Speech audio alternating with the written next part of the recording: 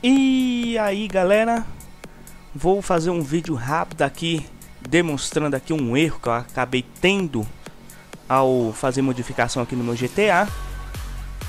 E eu vou demonstrar aqui pra vocês, ó, eu tenho aqui meu GTA, a pasta do meu GTA, que eu, que eu faço as gravações de vídeo aqui. Tá simplesinho o GTA, não tem muita modificação aqui não, ó, tá vendo? Tirei tudo aqui do GTA. E quando eu inicio ó, pelo launch normal, ele acaba dando um erro. Olha aí o erro aí, ó. Né? Ele tem aquela localização da pasta. E Microsoft Visual C++ Runtime Libraria. Esta aplicação, não sei o que, não sei o que lá. Contate aplicação e, e aconteceu isso.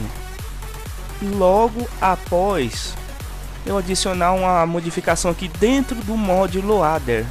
Essa bosta dessa, desse mod aqui do de transportar cadáver aqui que eu já vou até jogar no lixo que eu não não sei por que não adianta nem instalar ele porque travou de todo jeito aqui. Eu já fiz de tudo. Eu já tinha feito todas as opções, até no launch de compacto, já troquei vários modelos de launch, não vai, não vai de jeito nenhum, ó. Sempre dá esse erro do um erro do, do Microsoft Visual C aqui mais. Não adianta restaurar GTA tudo, a modificar os arquivos tudo aqui. Ele só funciona de um jeito. Se eu remover o mod loader, aí ele volta a funcionar. Mas só que eu tenho que usar o mod loader, aquela bosta daquele Cleon mod fez alguma coisa no mod loader, nem eu apagando os arquivos, reinstalando outras versões, nada resolve. Nada resolve. Ó, ainda continua crachado ainda. Era para iniciar, porque tava iniciando o seu mod loader aqui, mas nem tava funcionando. Acho que deve estar tá outra. Ah, eu já tinha clicado aqui para iniciar sem, sem o mod loado,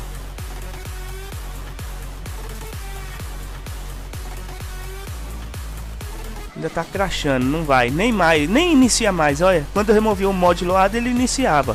Ou quando eu removia todos os arquivos de dentro da pasta mod loado, ele iniciava, mas agora nem vai mais. Então eu já instalei o DirectX, já adicionei um monte de DLL, já reinstalei o, o Microsoft Visual um C, mais mais e nada. Eu falei, pronto, fudeu. Tentei abrir outros GTA, outros GTA abre de boa, só que o que eu uso é esse, o meu principal. Aí eu pensei, pensei, pensei, falei, dessa porra tá gravada. Quando eu inicio aqui, ele dá aqui, ó, Microsoft Visual, Runtime, C, e olha só, lá no nessa bosta fica gravada essa parte aqui, ó. O programa da pasta C+, dois pontos aqui, ó. Usuários Windows 7 Desktop GTA San Test, ó. Essa parte aqui, ó. GTA San Test. É essa pasta aqui, maldita aqui. O que que eu vou fazer? O que que eu pensei em fazer? E tirar esse nome aqui, ó. Mudar o nome, renomear a pasta.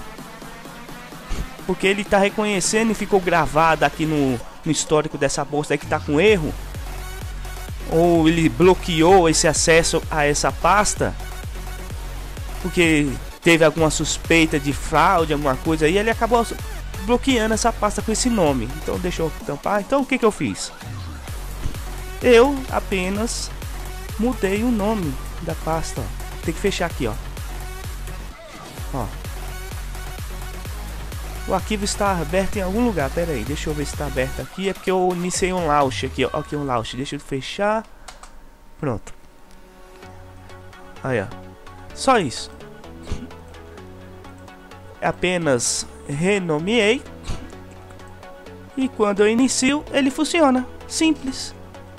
Essa foi a simples solução para mim poder jogar de novo aqui, ó. Com todo o mod loader funcionando de, de boa. Tinha hora que só funcionava com uma única pasta de arquivo dentro do mod loader, mas agora eu consegui carregar tudo de boa.